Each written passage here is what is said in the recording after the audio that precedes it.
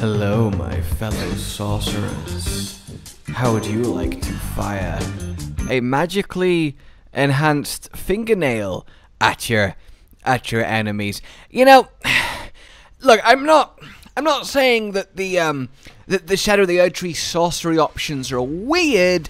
I just never would have guessed we're going to get an entirely new school of magic known as the finger sorceries. But you know, maybe that's on me. In any case, uh, let's talk actually how to get a brand new set of sorceries as soon as possible from starting in the realm of Shadow.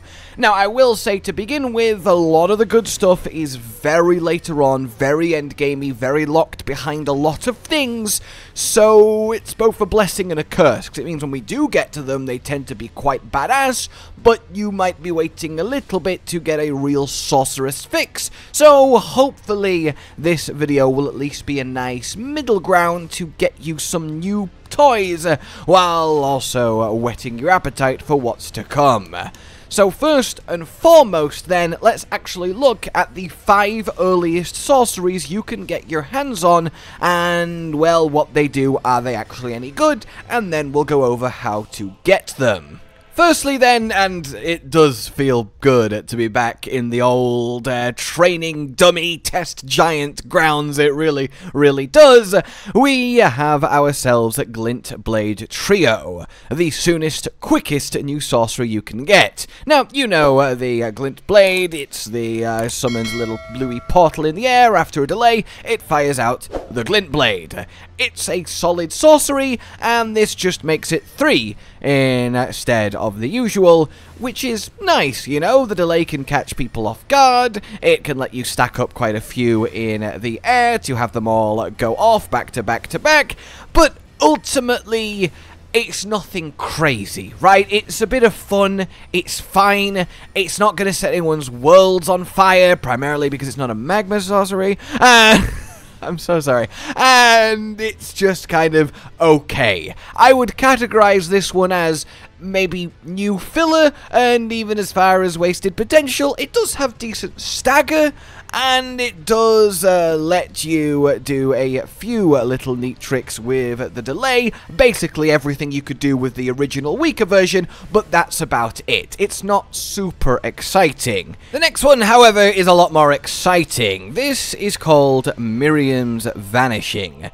and it is really quite fun, and it also feels like about time this is a sorcery in a Souls game. So what it essentially does is not just make you disappear and reappear, it lets you teleport which is really freaking, I think we can agree, cool. It will send you in the direction that you are aiming when you first use it, and yeah, it's fun, right?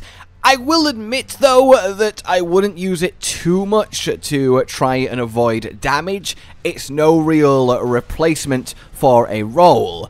It might go off pretty quick, but as you can see, you still technically exist, you're just kind of going invisible, and it's not like it's a iframe cheat which is definitely a shame. You can't just phase through enemies, through bosses, though it does sometimes help you reposition in a way that you normally couldn't, but it's gonna be touch and go. So don't think of this as a new ticket to never taking damage, it's not really that. It is quite useful for a sudden quick reposition, but that's about it. I actually think it might have more application in PvP, where you can bait out whether you're actually to teleport or not, whether you stand on the spot or actually uh, do uh, the little jump forward.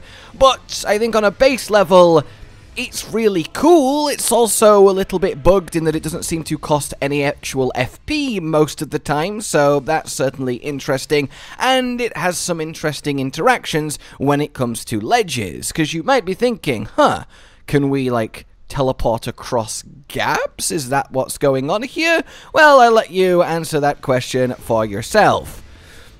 Not really. I mean, technically speaking, if the gap is small enough that uh, you uh, could jump across it normally, like you can with this one here, then you might be able to get it happen, but if you are too close to a ledge, it actually won't just let you go forward, which is a little bit of a shame. Really, it's limited to cool factor and mind games and PvP. So I love the uh, sorcery in concept, but in actual usefulness, uh, your mileage may vary, and I'm hoping that we will in time discover something particularly crazy about it that as of yet hasn't been found. Following that then, we have the first of our new school of magic, finger sorceries in the glintstone nail. You might have seen some enemies casting this at you. It's this little darting uh, pellet, a, a, new sort of more muted colour as it sort of snakes through the air, delayed.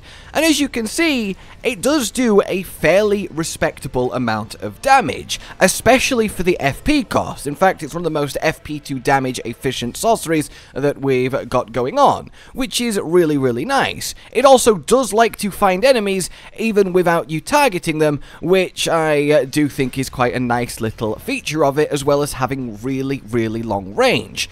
Again, I don't think it's like going to blow you away, but this one is actually genuinely useful and it is a solid functional new little ranged blast that we can use, and yes, there is a special glintstone staff to buff finger sorceries, so they do get even better. Second to last here then, we have glintstone nails, the cluster version of glintstone nail singular. This one I really like. It hits very hard, it's chargeable like the single one is, which means we can use things like Godfrey's icon on it, which is always good, but it still casts quite quickly even despite that, and then it just fires five of them out. It essentially does just a little over double damage of the single, but what this really has going for it, and sadly the giant doesn't have enough health to show, but the bosses of Shadow of the Erdtree certainly uh, very much do have enough health for it to come in handy, is massive amounts of stagger. These nails really do put people on the ground for crit attacks, and that's really, really nice. There is a particular Remembrance boss I won't spoil or go into, but this sorcery by itself carried me through it in a really strong way. So I really do like Glintstone Nails here. It's probably the best one you're going to get for a while, and might be in contention in terms of just pure numeric functionality usefulness as a standard sorcery goes. It's up there for the whole DLC. So yeah, I am a big fan of this. Now, you'll notice I don't actually have the fifth one on currently because it's a remembrance sorcery. So if you don't want to be spoiled on it, what boss it's from, where it's from, then skip to the next timestamp and I will see you there. For everyone else, let's do this because it is ultimately the second sorcery you can get your hands on in terms of time and relative distance from your first appearance in Shadow of the Erdtree. Meet Rellana's Twin Moons. Combining uh, both of the full moon sorceries, we have a first drop of Rennala's full moon and then a second drop of Ranni's dark moon, which is really, really cool, and it sounds especially badass on paper. And I hate that I'm about to say on paper here because I admittedly got myself way too hyped for this, and then when I actually cast it, I was a bit disappointed because the boss version of it that you have to deal with when fighting the boss is so much cooler. However, it's still phenomenal. So first and foremost, you get this from, well, Rellana, her remembrance. She is the boss of Castle Ensis that you enter from the castle front across the bridge and up into it. You fight her in here, the Ensis Moongazing Grounds. Cool, I uh, won't go into it any more than that. It's very self-evident how to get there. It's just a mini dungeon, not a legacy or anything, and that's all well and good. And if you do beat her, you get to go into this next area via the more direct path, as opposed to the back door that I will also talk about, because we will need to get to this area for the locations for the others. In any case then, that's all said and done, let's give it a cast. You hop up in the air, you drop one, and then you drop the other. So, essentially imagine it as literally both of the full moon spells cast back to back, and they explode on you instead of travelling. And the main thing here, outside of the damage that it does, which is really nice, and of course it has all the effects that the moons have, i.e. it makes the enemies more susceptible to uh, magic damage, the uh, little debuff that it applies. It also does do frost damage on the Dark Moon uh, part of it, but it also does a lot of damage, as we saw, which is really, really nice too, and it's a big AoE. However, the real X factor that I think is here is if I can actually get into the moon. While in the moon, you have ridiculous ridiculous poise as opposed to the others that don't really help your poise at all and you can just get hit out of them as you're slowly incarnating into the moon itself before shooting it. So you can actually use it quite well in a crowded area and uh, not take too much damage, not get knocked out of it, and then drop the moons. If I go into it up once more, and you see there I got stabbed by that guy before it dropped, and it didn't make a difference. You also, I am absolutely convinced, do have some damage reduction while in the moons. I've really noticed things just not hitting me as hard while I'm in them. So essentially you do float up into this defensive cocoon and then drop a lot of effective debuffing damage onto everyone around you. It's harder to pull off in boss fights even with the extra poise and damage reduction, but when you can find the opening, it's very, very nice. It probably costs a little bit too much FP for the output that it does, but you're not using this for efficient damage, using it for big, effective damage. So that's the Twin Moons, and where you get it. Welcome back then to everyone who skipped ahead to not see all of that. Let's go get those four sorceries, starting with Glint Blade Trio. Starting at 3 Path Cross, which uh, we get to just from the very beginning uh, very easily, we want to go across the big old bridge and then get to the Castle Front Grace. This is for your trio of glint blades. You want to go up and enter Castle Ensis and do this whole dungeon. I'm not going to spoil the actual inside of it for you, but once you get to the Castle Lord's Chamber Grace, you have actually passed it already. So going from this grace, you want to go downstairs, down the elevator, retrace your steps uh, past uh, various enemies until you reach this gate. Just before going through it, you want to drop off the wall to your right, rotate round, climb climb up ladder number 1, climb up ladder number 2. Then very quickly you can drop down on your right and there will be a corpse on a wall which will give you the sorcery. Really hidden away for how just normal it is, but I digress. Then, as we've discussed, the other sorcery uh, that I'm not going to show in this section for spoilers is in the vicinity, let's say. You can watch that section if you want, but let's get Miriam's Vanishing and our two Shattering Nails. So, step one, we need to get to this whole section. And in order to do that, you either need to complete uh, the Castle Ensis and uh, beat the boss there, which will kick you out here, and then you can get this grace, or you need to take the back entrance, which will instead uh, put you out in the Fort of Reprimand. I've got the map still shadowed here on this save, so I don't spoil this area for you because it's particularly cool.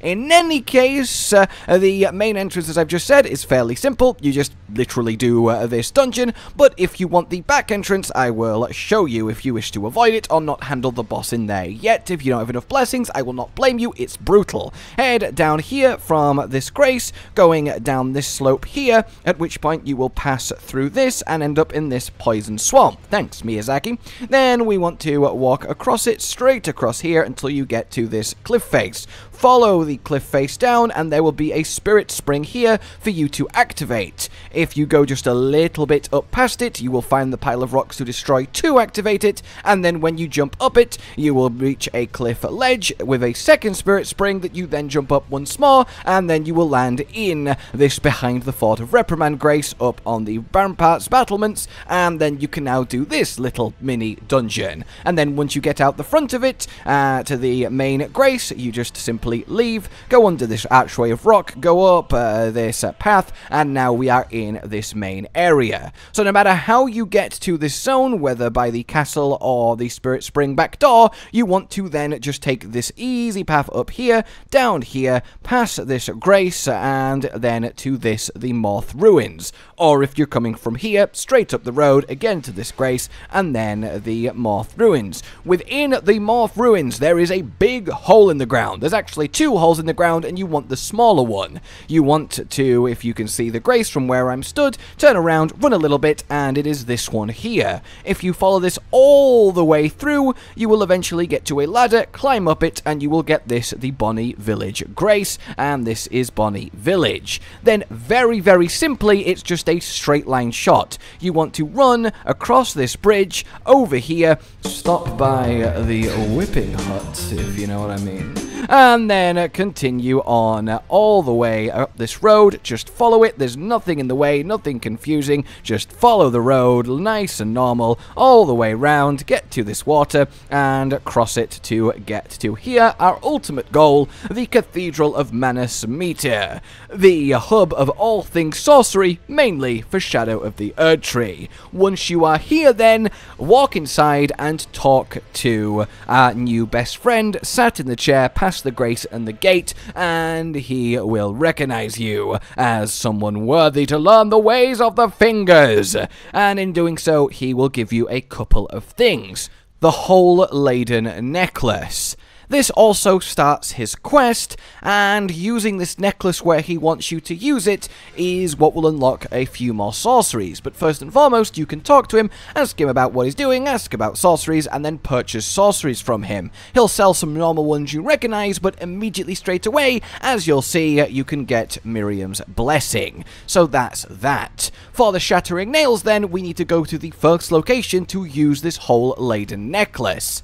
Now, this one I'm going to do on the map for you for the most part because it's very cool, very epic, and I don't want to spoil it. It's very obvious and apparent when you get there how and what to do, but I do want you to experience it. For now, though, start at the Castlefront Grace, head all the way down here to this Poison Swamps. Instead of going around here like we did before, we go through the cave, heading down the path to get to the Ellac River Cave, head out into the river, go south down here, and then eventually you will come out in the lovely Cerulean coast and get this grace. From here, let's stay to the map. As I said, I want you to really experience this properly firsthand, but what you want to do is go straight down here, keep going all the way. You can grab this grace while you want to, and then head back here, go down these two big tombs until you get to the beach, run along the beach all the way here, go up this big tomb, get this grace, the finger ruins of Rhia,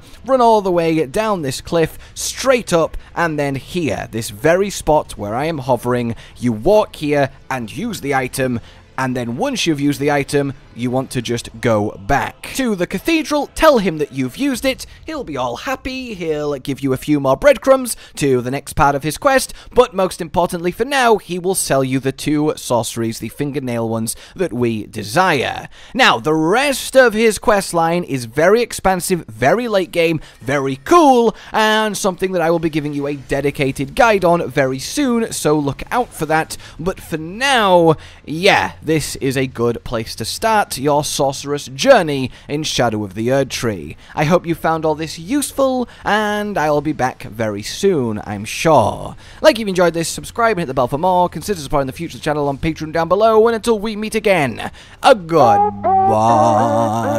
Josh, Cotton, and Hollow with the videos, dropping the humor like a hammer on your tippy toes, bringing entertainment on a daily arrangement to take our insanity and turn it into entertainment. Yes, I said entertainment twice, to reiterate that it is nice to look into your faces on a mostly daily basis when you let us in your homes to make the whole world a stage. Is, uh, goodbye.